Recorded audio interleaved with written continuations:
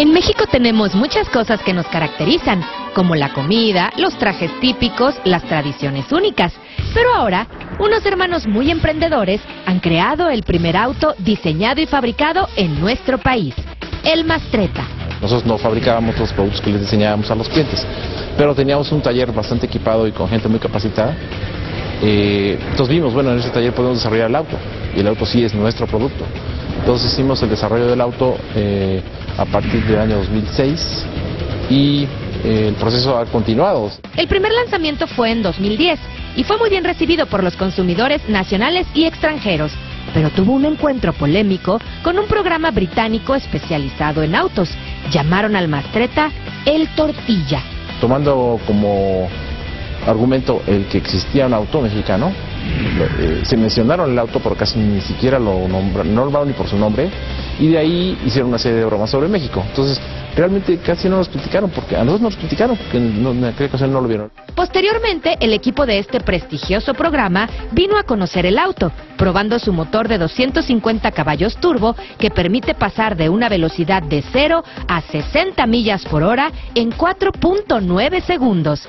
Este carrazo de tortilla no tiene nada. Fue muy objetivo, fue muy profesional, hicieron críticas objetivas y también elogiaron lo elogiable, en fin. Eh, nos sentimos muy satisfechos de que, de que ellos hicieron un trabajo muy profesional y, y bastante serio. La familia Mastreta sin duda es ejemplo de emprendedores e innovadores, pues gracias a su creación hay otros fabricantes que han seguido sus pasos. Yo pienso que para que México salga adelante en largo plazo tiene que ser un país mucho más desarrollador de cosas. Eh, debemos dejar de pensar en que los desarrollos se hacen en otro lado. No, los cuestionamos mucho por qué. Simplemente así es muy motivacional crear cosas. Eh, es, algo que, lo que nos estamos perdiendo muchas veces en México por decir que no podemos, y sí podemos. En la creación del Mastreta participan muchos mexicanos y mexicanas, la mano de obra más valiosa según algunos expertos, y que además sienten un orgullo incomparable cuando saben que su trabajo llega a muchas partes del mundo. Más que nada, pues el poder participar ¿no? de, en, en este grande proyecto, nos damos cuenta que pues está a nivel del mundo, ¿no? Ahorita ya en las mejores marcas estamos compitiendo con ellos.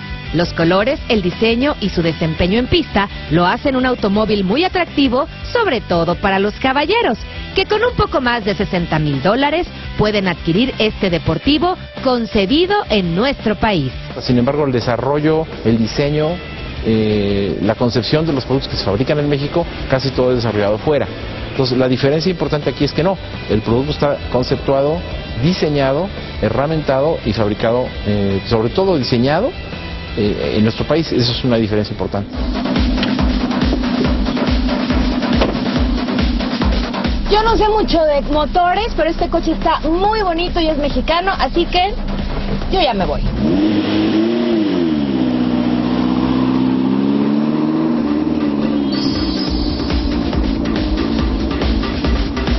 ¿Qué creyeron? ¿Que ya me llevaba mi mastreta? Me encantaría, pero primero voy a ponerme a ahorrar, porque este auto hecho orgullosamente en México está de 10. Gracias. Buenos días. Saludos a todos.